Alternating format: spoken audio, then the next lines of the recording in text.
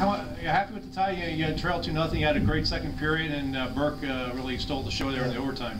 What we're trying to do is not, uh, you know, for a team that hasn't won a whole bunch, this is going to sound like a pretty obvious answer, but we're not focusing on results a whole bunch. Uh, we're not going to start now because the expectations are better this year. I'm happy with the effort tonight. Our execution late in the game, not happy with it all.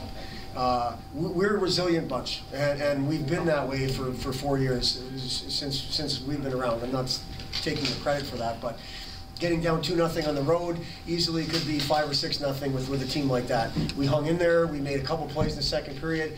I, I really liked our kills in the third. I thought we had a couple good kills.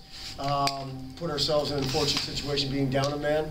Uh, all in all, happy but not happy with the last five minutes. We, we are still a team, and you can see it. Union was playing to win that game, and we were playing not to lose it. And, and there's a difference. That team is two years removed from a Frozen Four. We're two years removed from two 11th place finishes in a row.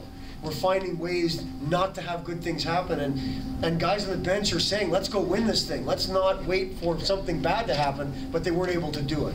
So the intensity and the work is there but the poison focus just isn't. And you got guys like Carr and Gostisbehere and, and, and Bodie and, and every, every Ciampini making plays, and we're holding our stick and just holding on for dear life. So, yes, happy, and I know that's the long answer, but there's work to be done. Well, as Ken alluded to, the play of Burke in overtime and the two saves on Carr, uh, those were Yeah, I mean, I, I think you guys know Daniel better than I do as far as a player, but he's a he's a an all-American type guy, and you give him opportunities like that, he's going to score. And Tommy made two big-time saves. Those were his two best saves of the night, arguably. And um, uh, uh, obviously, I, am more concerned with how we got to those situations than, than, than, the saves. I'm happy he made the saves, and I'm happy for Tommy.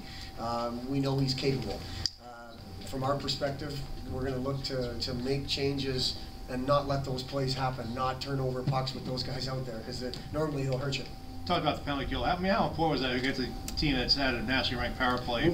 We, it, it, it's been all week. We, we told our guys last year's series Union swept us at Bowling Green. Their special teams was just way better than ours, period. And we told our guys, and our, our discipline wasn't great. I didn't think all the penalties were were, uh, were bad penalties, but I thought a good handful of them were.